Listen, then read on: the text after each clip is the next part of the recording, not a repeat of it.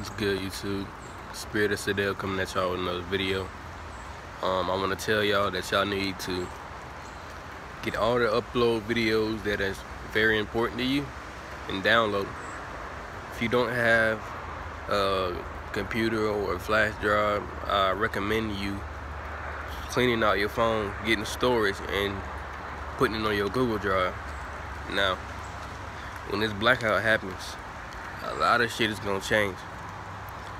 If shit do work, as in electronics and whatnot, you do need to have your videos downloaded because all of these big platforms are still gonna shut down regardless. And when that happens, a lot of these people are gonna be fucked because their life depends on social media. It depends on interactions. It depends on all that types of stuff. But for you as a normal human being, normal person, you need to go ahead and download your videos. You need to do get everything you everything you think you would need if all platforms and media was to shut down today. That is the biggest thing.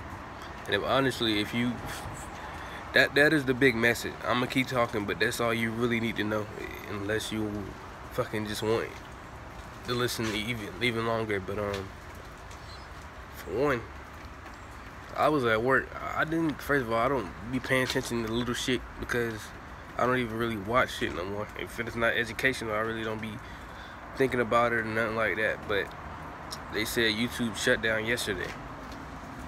It didn't shut down because I know for a fact that they didn't shut down because their shit was fucked up.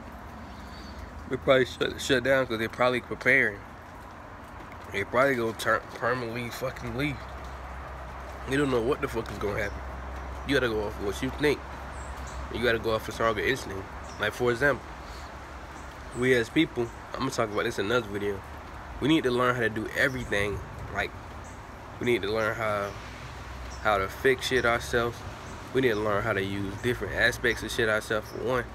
We need to learn how to tell time through shadows. That's another thing we need to learn to do. You now I know you're probably thinking like no, like bro, why the fuck do we need to learn that?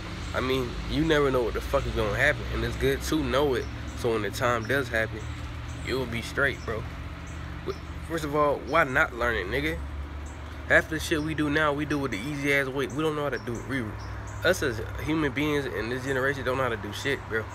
Let's be real.